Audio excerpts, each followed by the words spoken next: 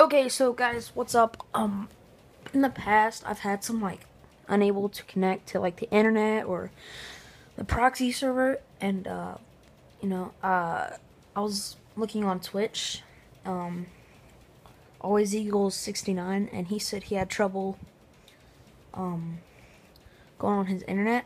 So I'm gonna show you. This is on Google or Firefox, but on Google, so you might want to do it on Google. Okay, on Google, you have like these bars right here. You can uh, click that. And then you get these whole list of things and you want to click settings. And then just click that. The computer's really slow. But when you first go in it, the proxy server settings, when you first go in it, you try to go on YouTube or it'll say un unable to connect to proxy settings or it just won't let you into uh, the internet. So this is pretty much like the same thing, I guess. My computer's really slow, so.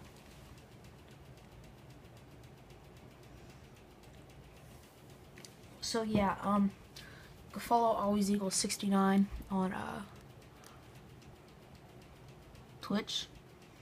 So you want to come down here and we'll have this thing and don't type in anything or do anything. You just want to come down the bottom and click on show advanced settings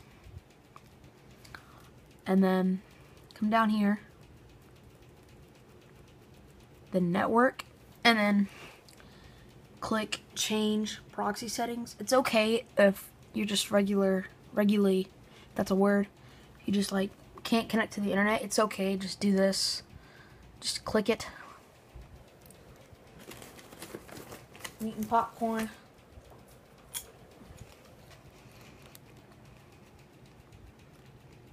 So, he's probably a really good Twitch live streamer.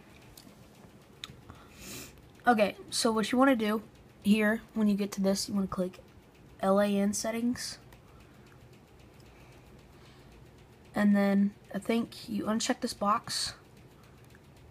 You just leave it unchecked.